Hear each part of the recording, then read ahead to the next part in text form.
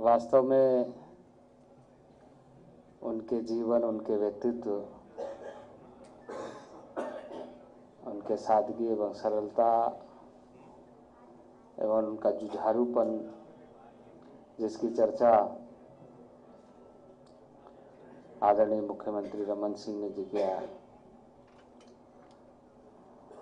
हम लोग थक जाते हैं, पर वो थकते नहीं। और जिस तरीके से लगातार उनका प्रवास आज जन चेतना यात्रा समाप्त हुई और लगातार उनका प्रवास रहा। इसके पहले भी हमारे यहाँ झारखंड में सड़क मार्ग से लंबी दूरी तक जब बिहार से झारखंड और झारखंड से छत्तीसगढ़ गए, बहुत लंबी दूरी थी, लेकिन लगातार उनका जगह जगह लोगों को संबोधित करते हुए।